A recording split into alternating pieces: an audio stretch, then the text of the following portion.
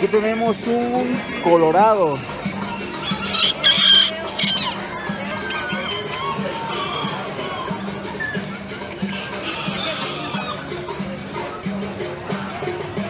Pata corta, su pata es gruesa. Pueden ver que la pata es gruesa. Pata corta, pero es gruesa.